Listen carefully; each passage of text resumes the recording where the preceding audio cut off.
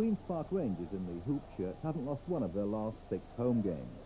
Today, they're at home to Chelsea, lying third in the second division, despite a bad run recently.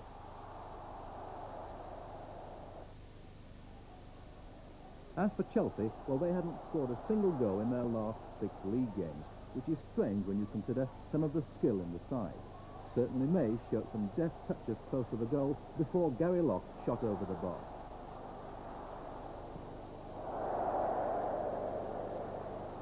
Locke is a fine attacking full-back, and he laid on a perfect through ball for Clive Walker, but Burridge was just too quick to destroy it. There was no score at half-time, and on the wet, muddy pitch, it didn't look as though either side would like to take the lead, but Rangers took advantage of a poor clearance. And Stainrod headed down for Langley to score. A delighted Tommy Langley, for that was the only goal of the match, and Langley had scored it against his old club, Chelsea. The final result again, Rangers 1, Chelsea nil. So Chelsea dropped to fourth place.